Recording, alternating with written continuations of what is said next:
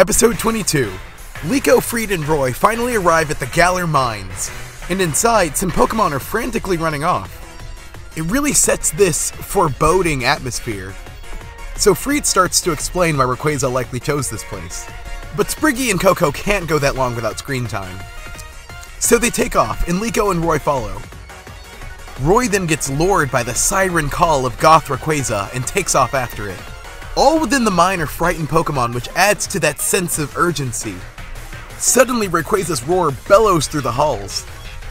We then discover some incapacitated miners, and Liko's like, How dare you sleep on the clock! After discovering presumably Rayquaza's claw marks, an ambush ensues. Amethio and Freed are a bit like Seviper and Zangoose, just hands on sight. When the battle against the Explorer starts, the captain comes to Liko and Roy's rescue. I guess we'll never get that on screen Liko and Kanya battle. From the depths of the mine, it finally makes an appearance. But to my dismay, it wasn't Rayquaza, but actually a Pokemon with no data, namely Galarian Moltres. And within its claws is an Ancient Ball. It's also incredibly destructive, just leveling their teams. This beast goes on a full offensive against them, and even takes out Captain Pikachu? Yeah, they're in trouble. Meanwhile, Lizardon and Soublaze's fight rages on, while Freed and Amethio continue taking jabs of their own at each other. In a pretty cool display, through sheer willpower, Roy and Koko dispel the toxins that had a hold of them, and launch a counterattack. But it turned out to be in vain. They really stand no chance, and Liko understands that. Realizing they're outmatched, they decide to hop on a cart and escape.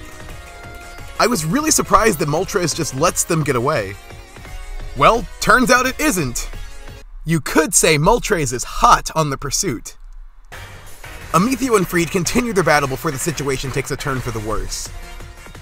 As the beast appears and lays its beak on them, ending with a rock slide that traps them in the mind with it.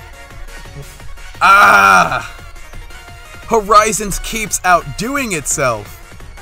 This episode provided a real sense of danger and fear that does not crop up often. Also, I do like how the explorers are being used sparingly. I almost actually kind of forgot what their mission was. And the subversion of it actually being Galarian Moltres that was residing in the mines? Then it just appears and wreaks havoc for half the episode? Yeah, that had me on the edge of my seat. To me, this is an A rank episode.